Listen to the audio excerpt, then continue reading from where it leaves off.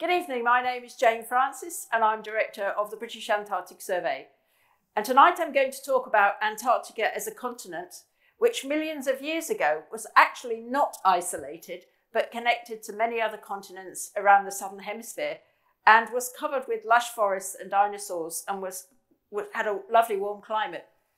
But the history of Antarctica after that is that it did become isolated as that icy cold, but beautiful continent that we know today.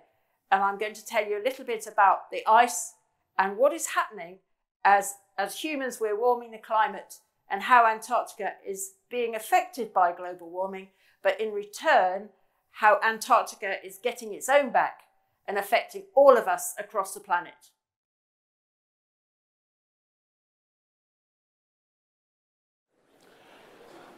Good evening, ladies and gentlemen. Welcome, a very warm welcome to our fourth lecture in the Darwin College lecture series, um, uh, where, as you know, the subject is isolation. So far, we've spanned Persian poetry, Australian asylum seekers, and quantum physics. But today, we turn to the most isolated continent on Earth, Antarctica. Our speaker is Professor Dame Jane Francis, the Director of the British Antarctic Survey, as I'm sure you all know, she's a geologist, in fact specializing in paleoclimatology and paleobotany, and was previously a professor of paleoclimatology at the University of Leeds, where she's now the Chancellor.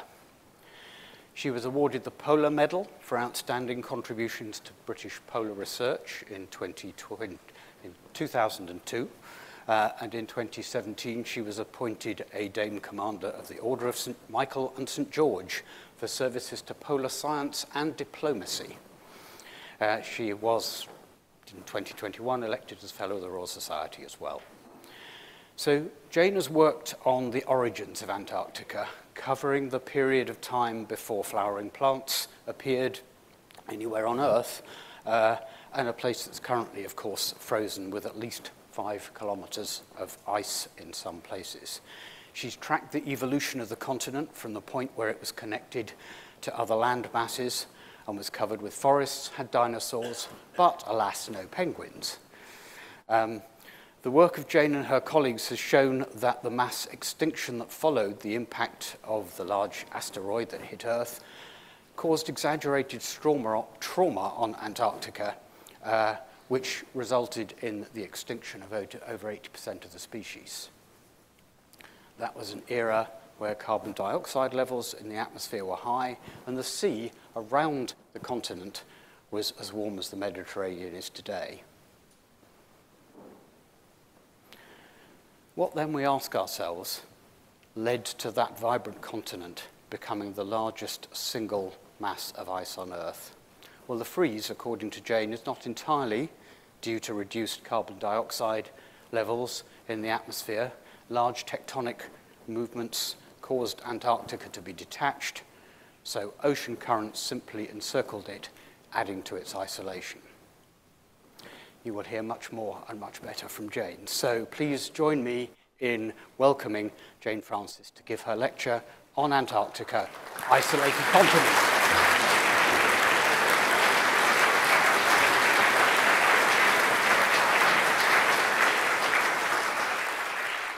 thank you very much, Master, and um, thank you everybody for coming.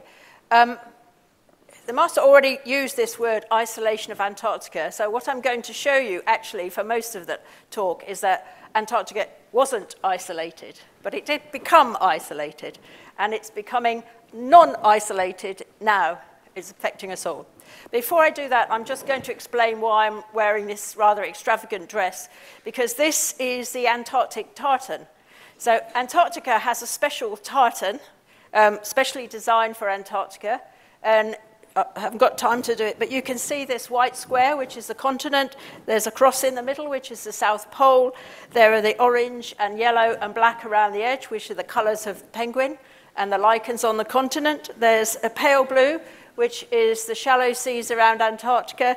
And there's a dark blue here, which is the deep sea around Antarctica and the polar night, the dark, cold winters. If you would like uh, any Antarctic tartan, it is, you can go online to the UK Antarctic Heritage Trust, which is a registered charity that looks after all the old stations in Antarctica and then uh, hosts um, tourists from, from cruise ships into the stations. And they have a website in which you can buy a scarf of the Antarctic uh, tartan. You won't find a dress because this is the only one in the world, but um, specially made for me for giving speeches. So Antarctica. This is Antarctica. This is the place I work and I love. And this is the best picture I've got of Antarctica, and it's truly sensational. Um, this is the Antarctic Peninsula. So uh, before we start, I'm going to mention some places. And if you put your left hand up like this,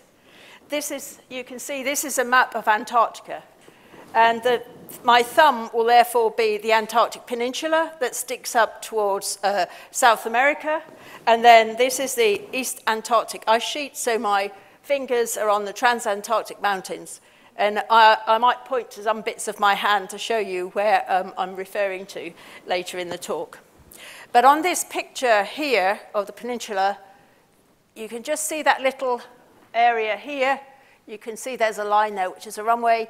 This is our sta main station, the UK main station of Rothera, where we go to. So we fly from South America, or take the ship, and go to Rothera, and then go out into the field from there. So it is a pretty sensational place. And here's another area. This is um, how I've worked in the past using ships in this area, which is really beauty, uh, beautiful and really isolated away from the rest of the world in this really icy climate now. This is a satellite uh, map of Antarctica, which really shows you that it is an ice-covered um, uh, continent and it is isolated currently, and I'll show you that it's isolated in, in this deep, dark ocean. and, and it is covered in places with over four kilometres thick of ice. So why should you care about Antarctica? The reason you should care about Antarctica and what's happening to it at the moment, which is what I'm going to tell you about, is because as warming around the rest of the world, particularly in the mid-latitudes where humans live and generated by humans, is, is affecting Antarctica and the Arctic in the North Pole – And as that ice is beginning to melt, which I will show you, global sea levels are rising.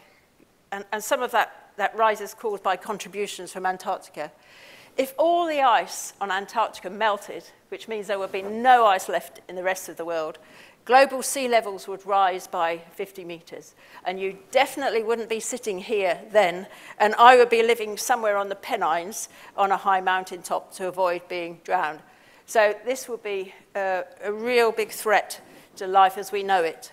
So what happens in Antarctica affects the rest of us in the, in the whole globe, particularly through global sea level rise.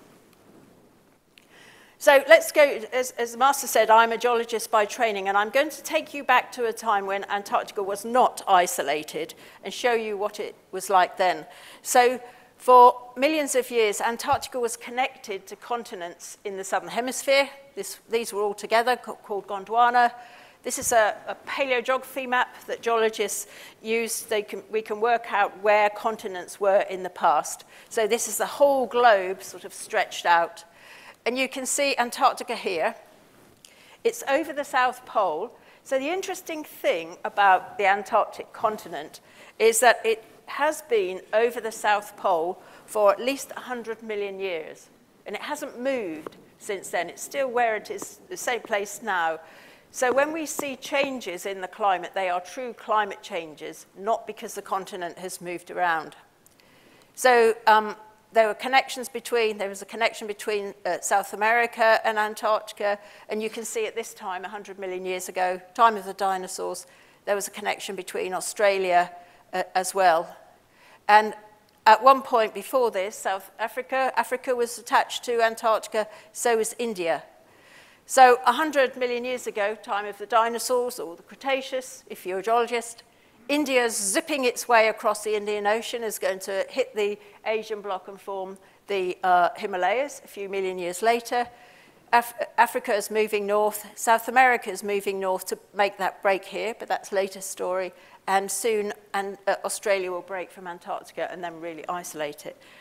But 100 million years ago, there, there was a join. And if I was an animal, I could probably walk all the way from South America across Antarctica into Australia and end up in New Guinea. And a lot of the fossils and fossil plants show that connection across the continents.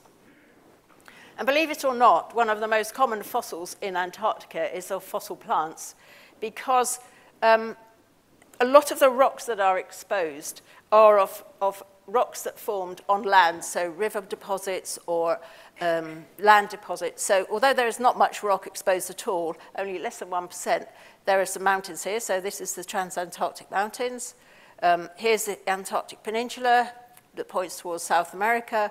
and there are some islands around here where all the uh, uh, rocks are exposed. And these are um, of ages where there are lots of fossil plants. So we can see some fantastic leaves like this uh, preserved in the rock record that tell us about climates in the past. So this is the kind of place that I've worked. This is a particular fantastic island called Seymour Island, which doesn't have any ice on it. It's an amazing place. Um, the ice caps have gone, and so what you get is something that looks like the Sahara. So there's my camp over there. And um, before I had too much admin to do, I used to go to Antarctica as a scientist for um, two months, three months, I live in a tent camp with several other people, and we used to work across the rocky sequence like this, collecting fossils and trying to understand what the climate was like millions of years ago. And so, plant wise, we found a really really good flora. So you can see here, here's just a selection, a small fossil leaf about two centimeters long. You can see very clear venation here. This is a, a, a type of beech that grows in the southern hemisphere now, but did then, southern beech. You can see here, I mean, this looks like modern wood, but this is petrified wood, millions of years old, uh, petrified to stone, um, and, and was, represents driftwood that drifted out from uh, the forests into the adjacent seas and has been petrified um, and then was a driftwood basically.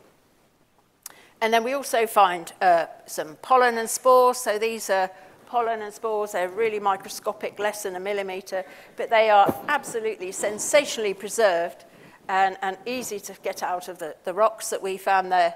And those give us a really good feel for the kind of plants that aren't preserved as leaves, leaves or stems or wood, but are preserved as just through their pollen or their spores. And they tell us a lot about the plants which are very delicate or live in the undergrowth that never actually get preserved or petrified.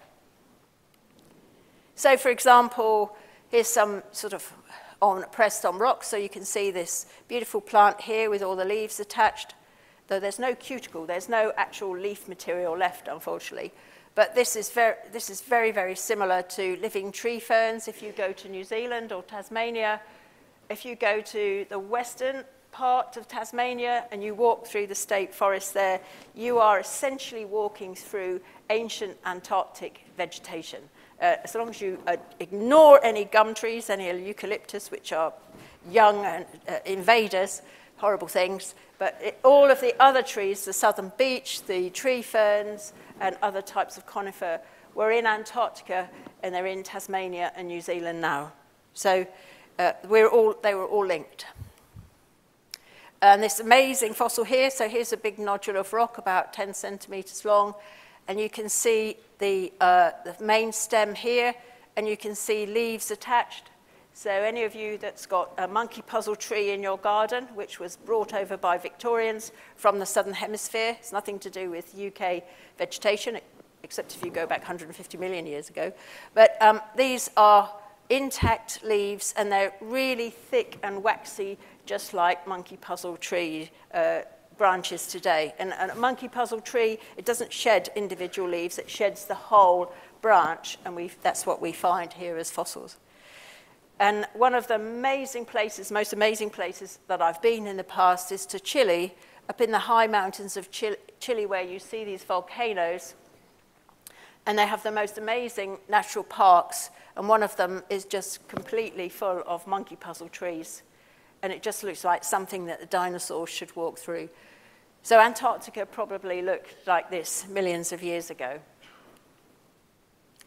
So that's just a snapshot of many, many hundreds of different types of fossil plants that we find. And this is a summary of it, really. So 100 million years ago, this is the best reconstruction of an Antarctic forest that you'll find. So this is, a, this is put together by um, geologists, and a PhD student that worked with me, who worked on a, a single layer, a bed of rock. And she measured the location of different tree, petrified tree stumps and the petrified roots and leaves of in situ uh, fossils. They were preserved in the place that they grew. So she mapped them all out, and then we worked with an artist called Bob Nichols, who's a dinosaur expert, and we put together this forest. So basically, he has extracted from our head this forest that we imagined in Antarctica based on scientific information. So you can see here it's a land with volcanoes, and in this dense forest you've got this tree here. So this is, you can, may recognize ginkgo leaves, maidenhair uh, tree. That's another one there. That's, they're quite common in the fossils. This is the southern hemisphere uh, conifer called a podocarp. So we have the leaves and the wood of podocarp trees. Here's the monkey puzzle trees again. Some um, tree ferns here, Some plants which were in the undergrowth and very common, which are extinct. So this is a reconstruction based on the fossils. Um, some normal ferns, and a few bry uh, and a few lichens. There are no flowering plants in Antarctica 100 million years ago. They hadn't yet um, reached Antarctica. They're only just evolving in other parts of the globe. so when I was working on this with uh, Bob, drawing this, And he said, well, where, where are the animals in this? And we haven't found any bones particularly here. We found them up here in the north. And so I said, well, could you just put a couple of eyes poking out of the undergrowth just to encourage students to go and look for the bones in the future? And when this, this pic, the, orig the original uh, picture is in the British Antarctic Survey up on, uh, in, on, the Madding on our Maddingley site. Um, and um, it's, in, it's in a display, geology display. and there were no eyes in it, and I was very disappointed. So I said, Well, where, where's the animals, Rob? And he said, I have put you an animal in there. It's there, but it's hidden. It's for you to find it. So can you see it? It's well hidden. There it is, look, there. so he, he, he really hid that work. So this is a small dinosaur. It's a herbivorous vegetarian dinosaur, probably about, um, probably about three meters long and uh, they were quite common in Australia and, and around Gondwana, so these were animals that were probably moving in herds around Gondwana. And the interesting thing is, so I think we painted this in about 2000. In 1989, a very long time ago, my first trip to Antarctica was with the British Antarctic Survey, and we found some bones of a dinosaur in loads of tiny little bits. It disintegrated. We collected them and from way, way up here. And they were sitting in the Natural History Museum and they've been reconstructed and we know all about the dinosaur that we found in 1989 and you may see it on a Channel 5 TV program about the Natural History Museum that will come out this spring and you'll see exactly what that dinosaur is that we got it right when we reconstructed it and you'll see a lot more about the anatomy and the fact that it's got a brain the size of a cat um, And so it was a very interesting dinosaur. So watch that space. Later on, after about 100 million years, probably about 70 million years ago, which isn't very long geologically speaking, we had flowering plants appear in Antarctica. And they're the classic flowering plants that you see in the southern hemisphere. A lot of these big waxy things that you see in bunches of flowers in Waitrose and Marks and Spencer's at the moment. And they're the uh, proteaceae So these big sort of big globes of waxy flowers, they grew in Antarctica. And we know about this both through some uh, leaves and flowers, but also from the pollen. So this is a tiny pollen grain that's less than a millimeter, but we know this is from Proteaceae, fossil one, and it probably formed from a plant like this. And tree ferns, and we have the very distinctive pollen from tree ferns fossilized.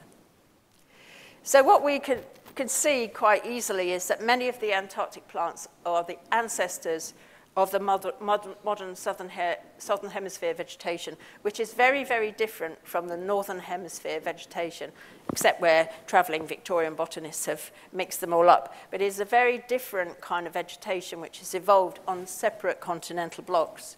So we've got here uh, this very famous leaf, and this is modern Nothofagus or southern beech, which grows in Patagonia, in, in New Zealand, Tasmania, Australia. Um, the proteaceae, proteaceae leaf, and embothrium grows in Chile.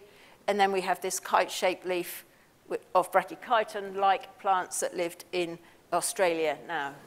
So southern hemisphere vegetation we find as fossils, and we can find very similar modern equivalents today. So this is another reconstruction of Antarctica 70 million years ago by another, another artist, James Mackay, and this is, brings in the flowering plants. So you can see here, here's the, uh, the, the Araucaria, the um, monkey puzzles up in the high mountains like I showed you in Chile. These are all uh, southern beech here in the lowland. They were very, very common. And then you can see also lots of dinosaurs. So my American and Argentine colleagues work on the dinosaurs.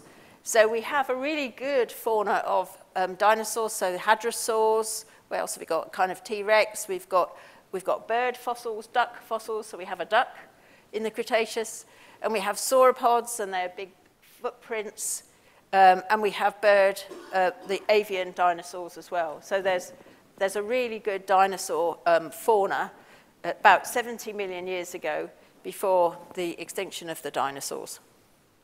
And also on here, you can see some red because we now have flowers in our reconstruction. We have flowers, we have water plants, kind of water lilies. Up in the highlands, we've got kind of heath, um, uh, uh, uh, heather type plants up here as well. So flowers were in Antarctica by that time. Just, um, just to move offshore, in the seas, we also have fossils that were living in the seas, just in case you like other things. So here are fossil bivalves. So these are like clams and lots of ammonites, these curly things here, which were um, the shells of squid-like creatures. Very common in the Jurassic coast of the UK if you ever go down to Dorset, but we have them in Antarctica, and they tell us a lot about um, the conditions in the ocean and the um, the age of the rocks. And these beautiful shells here of sort of gastropods, or snails, of types, and you can see the original shelly material still on there. And we can use this shelly material and, and um, look at the isotopic composition of it, look at the chemical composition of the shelly material, and it can tell us about the temperature of the water in which they live. So this is about 70 million years ago, and the temperature of the ocean water then, even on high latitudes, was about 15 degrees centigrade. So warm waters around Antarctica, and definitely no signs of isolation at that time. And again, here's, here's Bob's work. So here's the forest on sort of Andean-like Antarctic Peninsula. We had high mountains with uh, volcanoes. And then here's the dinosaur. Look, he's put it, the dinosaur has died and has floated out as a bloating carcass, which is being attacked by a primitive shark. Here's plesiosaur, plesiosaur, and this huge thing here, which is the size of a double-decker bus, is a uh, mosasaur um, eating shark.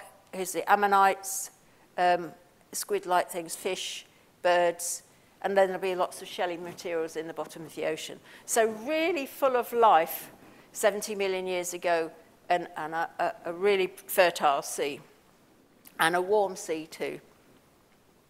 Now if we go as, as Master said, the dinosaurs died out. In Antarctica, it was a long way from a meteor, and I think probably some of the volcanoes that were exploding in um, uh, India may have caused more trouble in Antarctica. But this is Antarctica 50 million years ago, reconstructed by American colleagues. So by 50 million years ago, the dinosaurs had disappeared from the landscape, the ammonites had disappeared from the oceans, but what you can see is that the plants carried on. There was very little impact, long-term impact in the vegetation in Antarctica from any kind of event or mass extinction that happened at the end of the Cretaceous. So you can, so you can see here um, Southern Beach, again continued in Antarctica as if nothing had happened. Monkey puzzle is very common still. We have some flowers, winteraceae, um, mountain pepper bushes, grow in Tasmania today, grow in Patagonia today. They were in Antarctica. Um, lots of mosses, no grass, but lots of mosses and lichens. And then we have possums, so we start having marsupials. The mammals were there before the dinosaurs died out, but they certainly took into the trees um, when they're gone. We have rheas, or these carnivorous, huge carnivorous birds that um, roam the southern hemisphere. And we have these, uh, they're called Gondwana theres, but they're kind of primitive ungulates, or I like to think of them as primitive llamas or guanacos that lived in Antarctica at that time. And you mentioned, like, no penguins, but you see these little black dots on the beach. These are penguins. So penguins evolved when Antarctica was warm. And in the same layers of rock that we see all of these plant fossils that indicate warm climates. We also find fossils of many species of penguins. So penguins evolved in the warm geological past, and only a couple of them remained in Antarctica when it got cold. The rest of them went to, um, the, they went to S South Africa, they went to the Falklands, they went to so southern um, Australia, and just a couple, the emperor penguins and the Adelie penguins, stayed behind. So penguins are, are really like the warmth, really. So what happened then after this warmth and what happened to, to really kill the warmth? Well, a lot of my geological colleagues who do modelling of climate change, they show that about, uh, after about 40, 50, 40 million years ago, the carbon, the natural levels of carbon dioxide started to drop, and so the Earth cooled naturally over quite some time, so a, a, a slow process, just through the natural processes of Earth evolution, natural processes of, of the rocks taking in carbon dioxide, burying it, and, and taking it out of the system. So the Earth was beginning to naturally cool. But then what happened was that there were tectonic plate movements, And you can see that Australia, by about 40 million years ago, Australia is well separated from Antarctica. Uh, South Africa is way, way gone.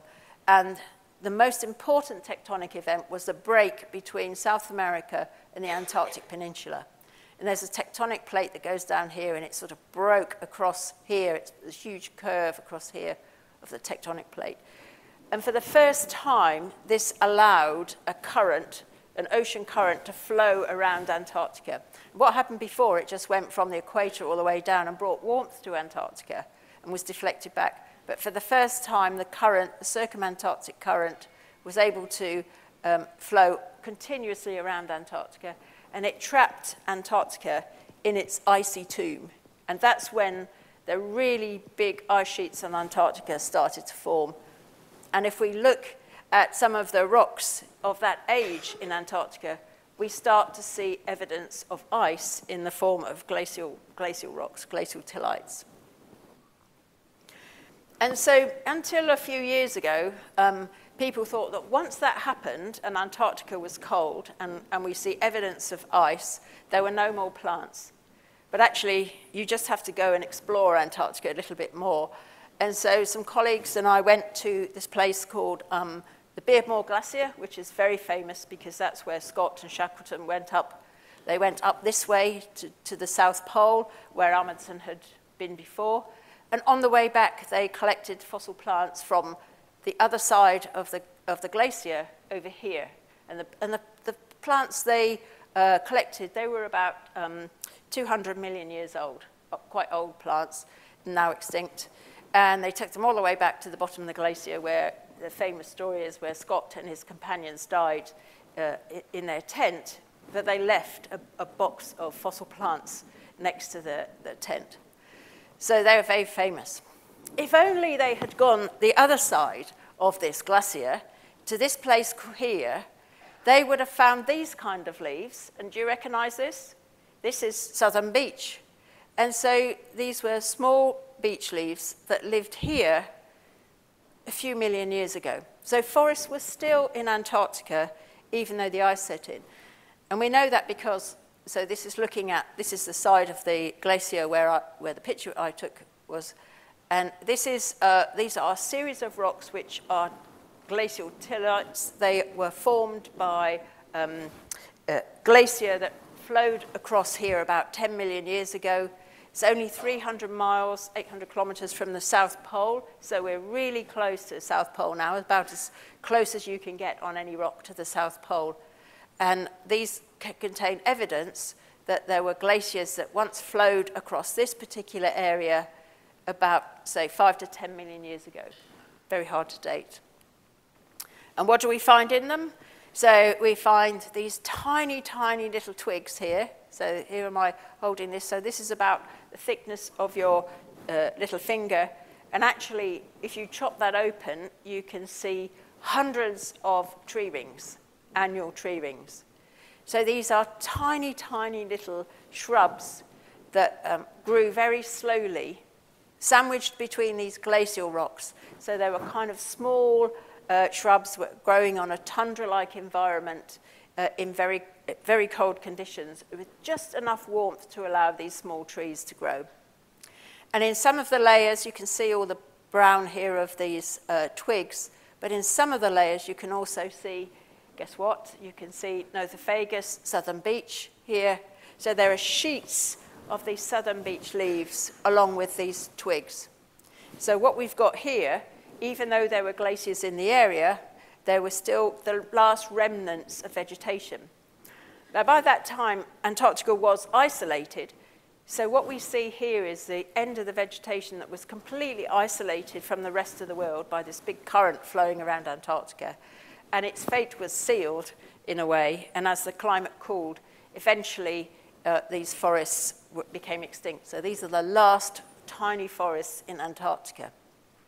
And they probably look like this. This is actually one of the fossils from that sequence. So this is about, uh, about 20 centimeters. It's a really lightweight, if I gave it to you, you'd think I'd given you a piece of peat. It's a lightweight, uh, mummified bush of a kind of um, uh, uh, cushion plant. And these are cushion plants here that live today on the top of uh, Mount Field in Tasmania, so in high altitude, cold conditions. You had these plants that live up there. So this is probably what Antarctica looked like near the South Pole. These are, these are also small podocarp conifers and some southern beech here as well. This is probably what Antarctica looked like near the South Pole about 5 to 10 million years ago when it was isolated from the rest of the world and very cold. And I'll just show you one more thing. So this is um, a colleague of mine who worked, we worked up there, Alan Ashworth from Dakota. He's a paleontologist and who likes to use bees and brooms to collect his fossils. So there was a layer along here, which was a, a small lake deposit, a fossil lake deposit, amongst all this glacial debris. So there was a small lake near glaciers about five to 10 million years ago. And Alan collected bags and bags and bags of this sediment because he looks for fossil insects, which are tiny, tiny fragments, little black things. And back in his lab, He found these things from those bags. He found this thing here, which is, a, he reckoned, because he's an expert, I didn't recognize this, but he recognized the snout of a weevil. He recognized the carapace, the back uh, here of a weevil, and then the leg of a weevil. And this is what he found, but this is a modern one. This is a Magellanic weevil from Chile, and he found the fossil equivalent of it in, in uh, Antarctica five to 10 million years ago in these last forests. There are hardly any insects in Antarctica at the, at the moment now. There's just a couple of small mites and springtails. But these were the last insects in Antarctica. So it was an incredible find.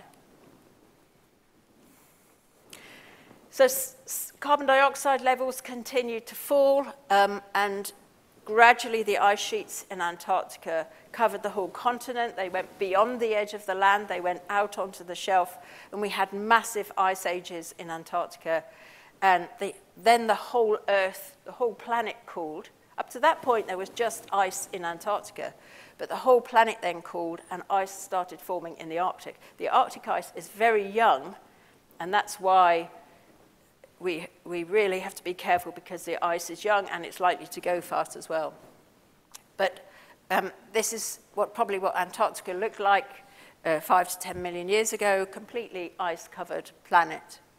So here we are. So here's another view that, that I started with. That other photo was taken over here. And this is Rothera, our station here. You can see the runway here and some of the buildings. where we go to from, from Chile, fly into here, and then hop out over here to do our field work. And one of the things that we do in Antarctica, we, Antar uh, British Antarctic Survey and other polar scientists in the UK, is to study the ocean around Antarctica.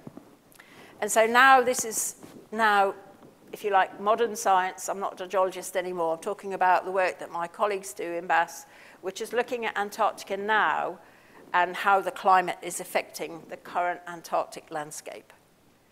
So this is uh, a famous ship. This is not Boaty McBoatface. This is Sir David Attenborough. Boaty McBoatface is a autonomous vehicle, a small glider that goes under the oceans, and it lives in Southampton, not Cambridge.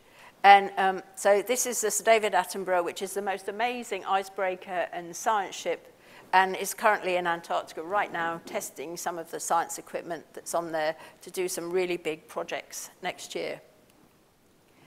And the Southern Ocean around Antarctica, it is a nightmare to sail across. I am not a good sailor, and for many years I had to sail for three days backwards and forwards across this, this passage of water between um, South America or the Falklands and Antarctica to get to where I to get to Seymour Island.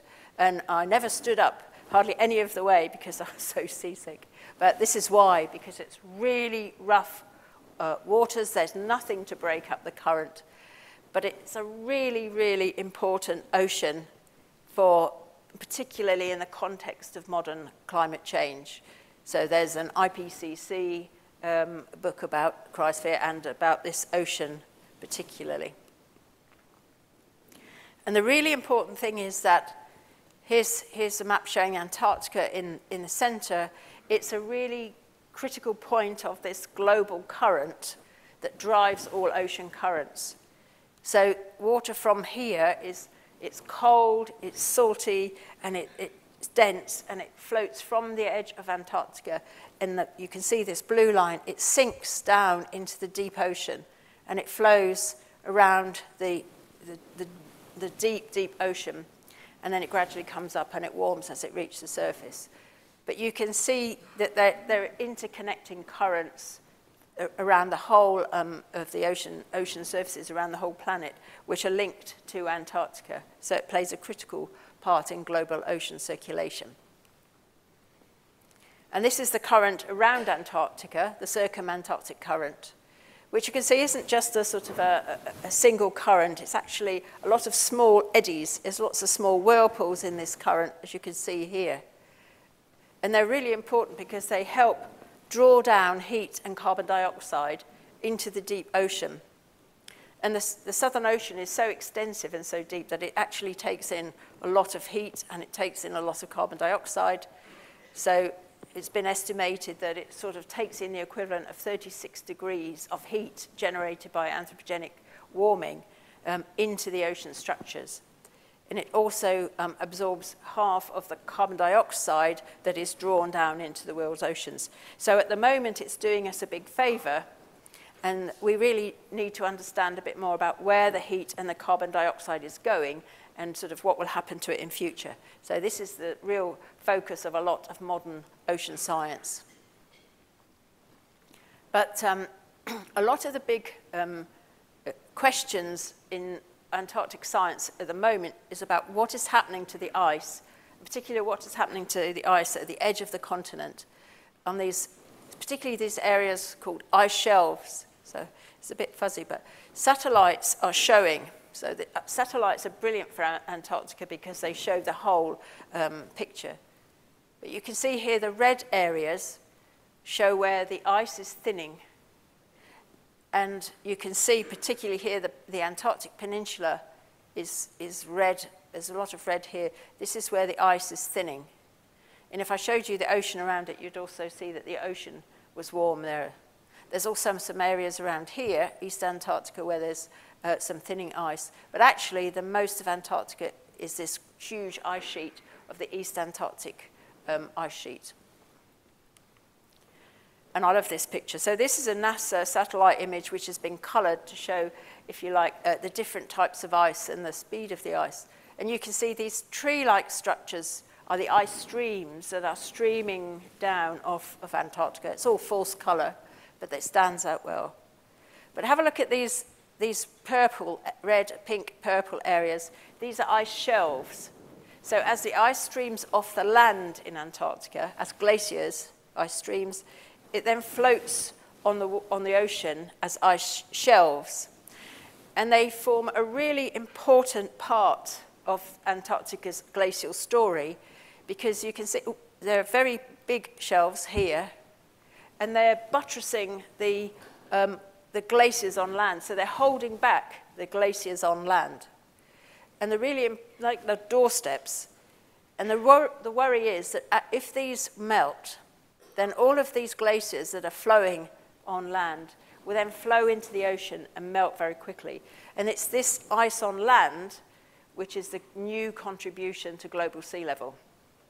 So what we, what we really are studying at the moment is the stability of these ice shelves to see whether they're going to melt soon because then they'll let loose all of these glaciers and that will contribute to global sea level rise. This particular area here, you can see there's a very modest ice shelf, but there's a star there because this is very important. And this is where there's a very famous glacier called the Thwaites Glacier, which if you read a lot of the BBC Science website, you will have seen reports on that. Because this sort of part here, if you like, your thumb of your map of Antarctica is called the West Antarctic Ice Sheet. So that's the East Antarctic Ice Sheet. And there's another one here, the West Antarctic Ice Sheet. And a lot of it here in the middle is not sitting on rock at all. It's actually, the ice is below sea level. And the worry is that if warm water gets underneath here and, and then melts out this area here, this whole ice sheet may disintegrate and that's several meters of global sea level rise relatively quickly. Uh, and let's, uh, let's go on. So there's this big project that um, is ongoing, um, and uh, there's some people, TJ in the audience has just come back. He didn't manage to get there because of the, uh, the COVID and all sorts of weather problems, but there were people still working on the Thwaites Glacier So there, this is a multi-million pound project with a, a joint project with um, NSF and with, between NERC, e NERC. And so you, there was the ship projects that are launching these ocean uh, instruments to measure the temperature of the ocean. There are people who are camping on the ice shelf and drilling through the ice shelf to understand what's going on there. There are people working on the rocks at the side to understand where the ice came up to in the past or the age of the ice.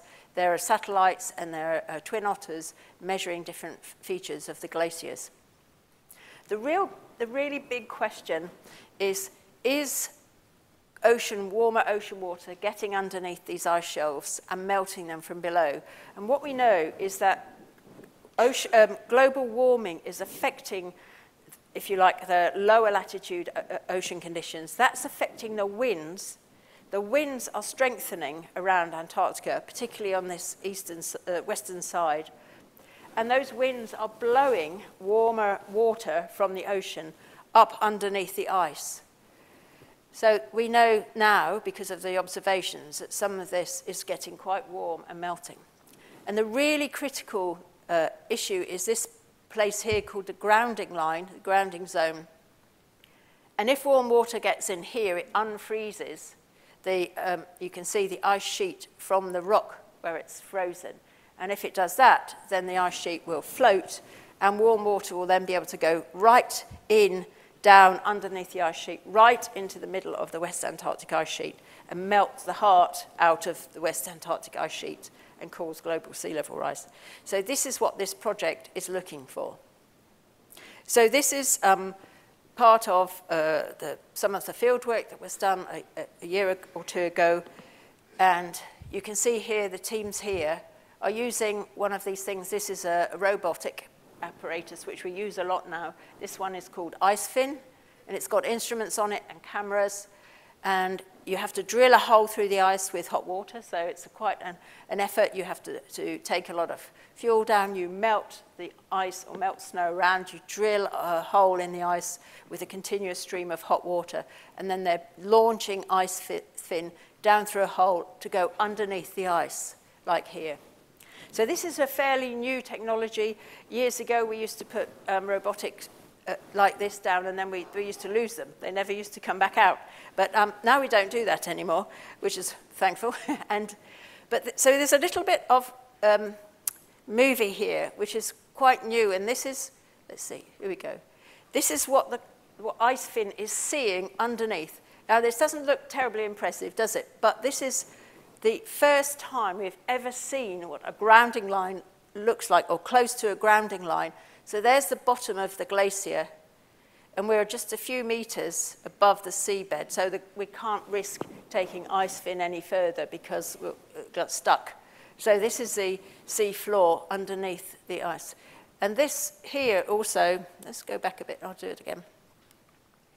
There's anemones that are living 50 kilometres from the edge of the open ocean. So this, uh, the grounding line is about 50 kilometers or so from the edge of the Thwaites Glacier to this grounding line. And yet there are animals that are living there in the dark in this icy area. It was quite remarkable, never been seen um, in this region before.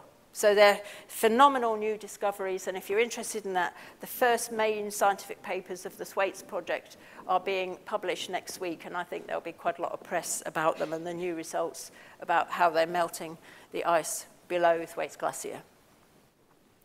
The other um, thing which a lot of scientists are looking at now, and this is a big project that's ongoing with multinationals in the centre of Antarctica, is to look at the current ice sheets and look at the history of the ice sheets to see what they tell us about the, the, the history of glaciers and the, um, uh, the climate change. So here's one of my colleagues. He's drilling an ice core, so they build themselves a little tent.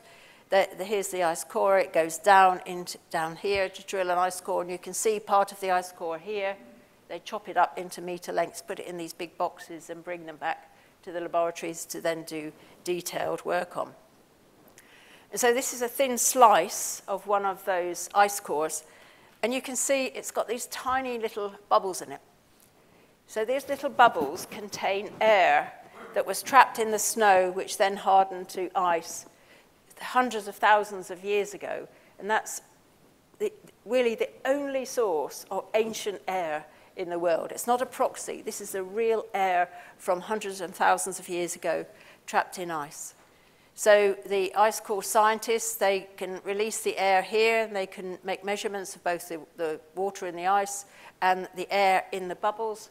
And they can work out the composition of the atmosphere hundreds of thousands of years ago. And they've there are big projects that have gone back 800,000 years of ice layers. And the, the, the main result that they found is that for the past 800,000 years, when there's been ice on Earth, atmospheric 2 was never higher than about 300 parts per million. And now we're at, today, today I checked, we're at 420 parts per million. So on a graph, so you can see here, here's today, let's go back 800,000 years. There's a big project called Oldest Ice right now uh, in, um, in Antarctica that they, and they're trying to drill back to um, uh, one and a half million years to get the, a longer climate record. But you can see what they've got here. They've got uh, um, a graph here of uh, Antarctic temperature, so it's going warmer, cooler, warmer, cool, cooler as you go through ice ages, waxing and waning, and interglacials and you can see corresponding carbon dioxide that matches the temperature curve. So the atmospheric carbon dioxide. The main thing to understand is that if you look from, from zero, well, not today, but back to about 1780, go to 800,000 years, the carbon dioxide level never rose above 300 parts a million. This is where we are today. We're way, way, way above the stability of carbon dioxide in an icy world. This graph is very famous and it has influenced um, politicians and ministers who've looked at it. They've suddenly understood that we are in an unstable world where carbon dioxide levels are way, way above where the ice has existed in the past 800,000 years.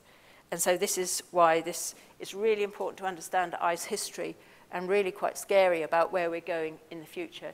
So what we need to do is both stop putting CO2 in the atmosphere, but if we want to stay in the same kind of world that we see now, we need to take the CO2 out of the atmosphere as well.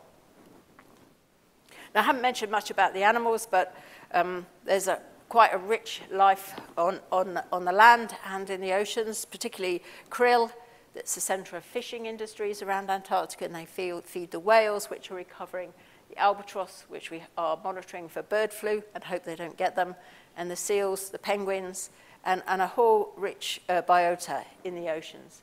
And the big question for this is what is happening to these animals? A lot of them are very um, adapted to very low temperatures and a very narrow range of tolerance. And some experiments that we've done with them show that if you warm the water up, they don't really like it and it actually kills them. So this uh, polar uh, um, biota is really at risk, especially the ocean ones. So um, in, the, in the paper that I wrote in the book, so that was about isolation. In the paper that I wrote in the book, I mentioned very, very end, because everybody thought I was going to talk about isolation of people in Antarctica, didn't you? And so I will mention a little bit at the end. So I can show you a picture of Halley. This is Halley Station. This is our most remote station, which is way, way over here. And it's on a, a, a floating ice shelf, which has just cracked in half. You may have seen that in the news.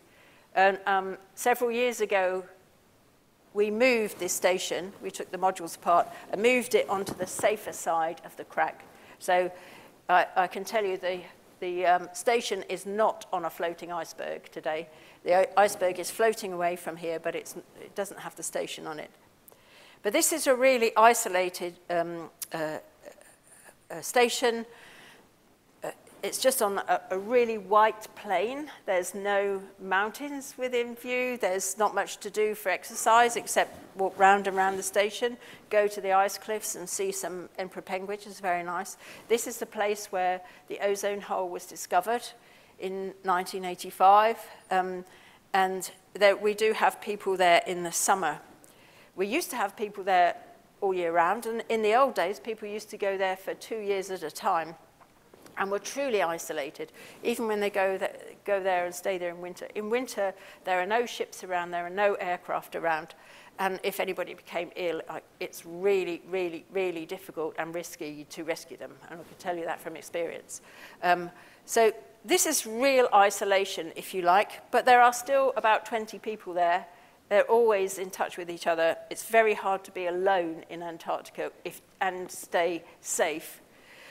But This is where NASA and ESA have chosen, uh, or other stations in Antarctica as well, to really test out what life is like on Mars, or could be like in Mars, or going to a space station as far as Mars. And so some of the people in our station have been guinea pigs, if you like, and they have been asked to keep testing their skills of docking the uh, space station into satellites into space station um, to see whether they can maintain their, their skills over long periods of, of isolation where they can't interact and be trained. So there's, it is a bit like space here, and it is very isolated. But of course, nowhere is a scientist really isolated in Antarctica because we have good radio links, we have satellite links, And I, if I wanted to, I could go back into my office, I could pick the phone up and I could phone somebody in the station there just on a, on a kind of landline with satellite link. So it's very hard to be isolated in Antarctica now, even as a person. So I just want to finish with um, a summary of the kind of importance of Antarctica, what BAST does in Antarctica, and it's an unashamed um, advert advertisement for the British Antarctic Survey.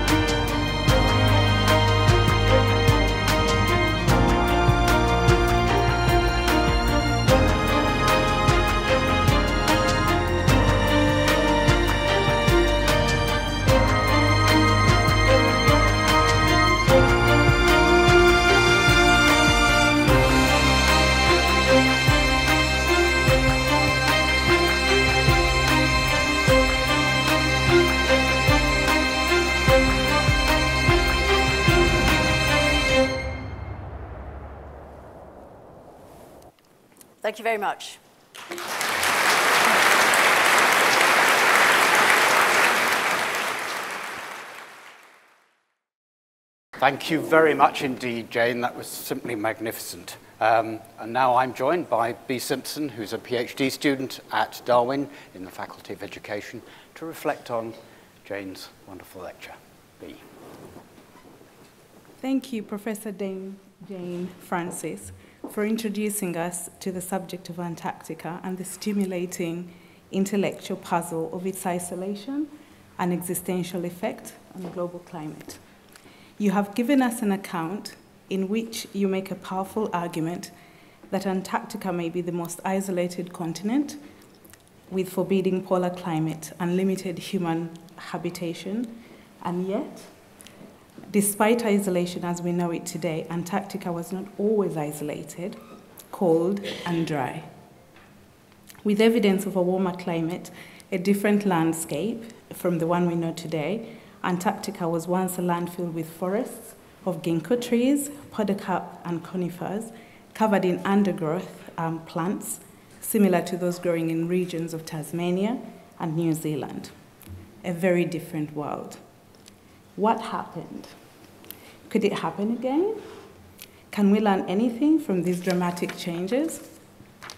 There are three things that I take away from your talk that might prompt informal discussion after your lecture. One, that Antarctica has not always been isolated. The geological timescale that you've provided gives us a critical puzzle that invites us to further contemplate our planet and its continents and to understand our geological and historical transformation. Two, a first order effect of the changes to the Antarctic climate is the, continent transform, is the continent's transformed landscape. A crucial second order effect is to prompt us to ponder and to interrogate the evidence of historical climate changes and to understand the causes, the influences, and effects of such a drastic climatic change upon human existence. And three, our rapid changing climate caused by anthropogenic warming um, may bring nonlinear changes of such a scale and complexity to qualify and perhaps to end Antarctica's isolation. How might we in this audience begin to contemplate, to measure, and to mitigate the effects of such a change? So for what you have told us, for the absolutely riveting discussion.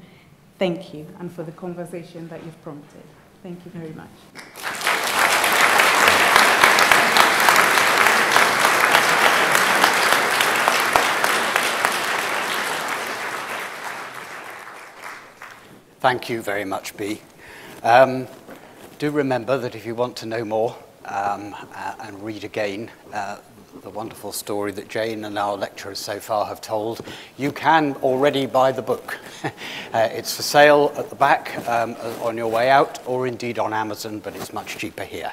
So do do that. Likewise, um, if you want to support the work of the British Antarctic Survey, remember you can buy some very fine tartan online, as we've seen, but, but not the dress, sadly. We are now halfway through this extraordinary series on isolation. Do join us again next week. uh, when we have Philip Jones, the professor of, a professor of physics at University College London, who is going to focus on the isolation of particles. But please once more join me in just saying a very, very big thank you uh, to David.